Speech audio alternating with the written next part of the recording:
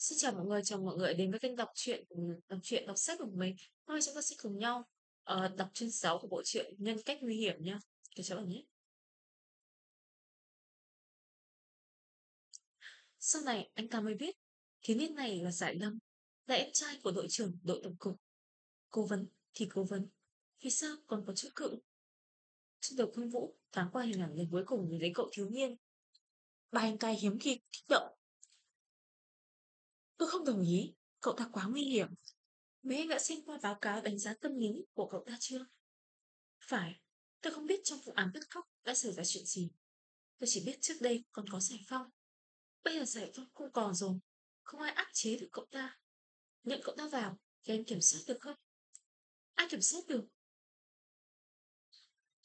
Giải lâm không biết hiện trường còn có một vị mới nhân.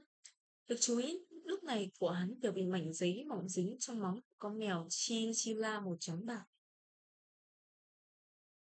Hắn kéo nửa mảnh giấy màu xuống, đưa lại gần nhìn.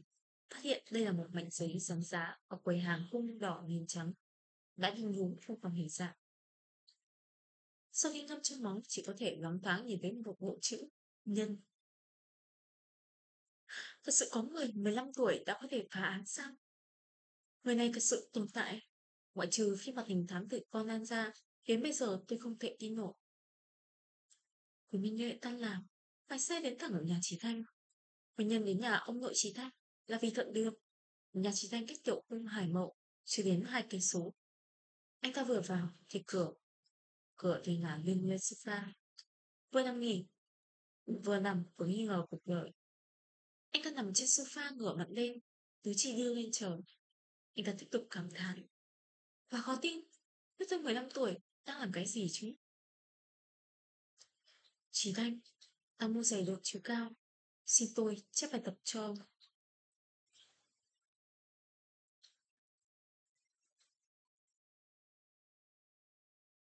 Với Minh Huệ. Chí Thanh tiếp tục. Theo rồi vẫn sinh hát bên cạnh.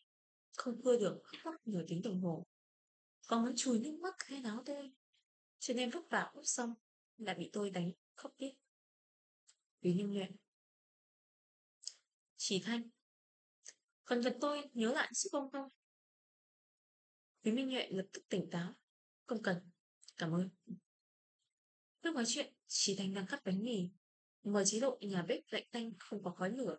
Trong nhà Thanh có lấy một cái nồi niêu song chẳng. Dụng cụ cắt thì rất nhiều. Quý Minh Nhuệ phát hiện ánh sáng trong nhà hơi tối. Đứng lên mở đèn hỏi. Cậu là động vật nhìn ban đêm à? Gì à? Tối thui tối mỏ cũng không sợ cắt trúng tay. Ánh sáng trong phòng vốn mờ mờ lập tức bừng sáng. Chí Thanh bị ánh sáng này quấy nhiễu, tay đang cầm dao nhỏ cấp bánh. Thì ngừng lại. Lưỡi dao hiện ra tia sáng trích đi. Đâm vào vật ngón tay. Chí Thanh. Hôm nay ông chán sống rồi hả?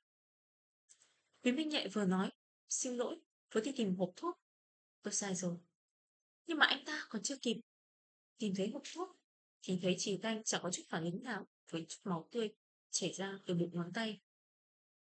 Chỉ rất bình tĩnh đưa ngón tay đến gần miệng. Vết máu vật thức tan ra giữa nghe. Quý Minh nhạy muốn nói, cậu đúng nào, quý vết máu chuyển thế. Nhưng ánh mắt lại vô hình chung bị thu hút bởi con dao trên tay chỉ thanh.